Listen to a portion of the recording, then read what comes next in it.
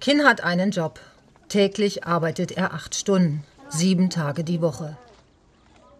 Es ist wichtig, dass Kin Arbeit hat, denn seine Familie ist sehr arm. Ohne Kins Lohn müssten sie hungern. Der 14-Jährige schuftet mit seiner Familie seit vier Jahren in einer Ziegelei in Phnom Penh.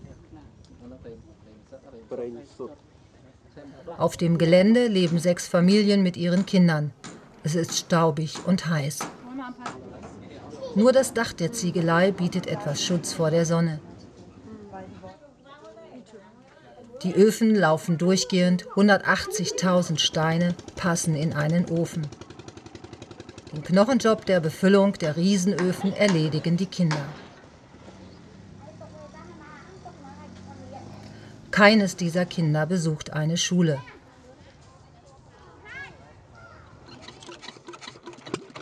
»75 Dollar verdient Kins Familie für zehn Tage. Auf Kins Mithilfe können sie nicht verzichten.«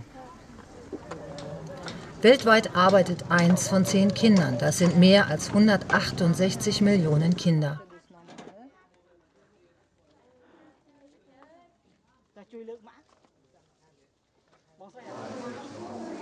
World Vision steuert dagegen. Dass Kinder Rechte haben, weiß kaum eins der Kinder.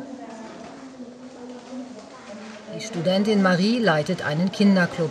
Früher war sie selbst als Kind hier, jetzt informiert sie. Das Recht auf Leben, Recht auf Entwicklung, Recht auf Beteiligung und Recht auf Schutz.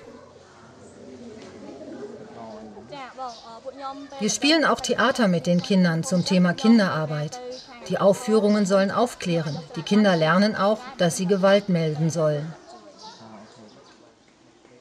In Maries Augen hat sich schon einiges getan in den vergangenen Jahren. Doch noch immer müssen Kinder schuften. Ich war so glücklich in der Schule. Ich will nicht arbeiten. Ich will zur Schule gehen.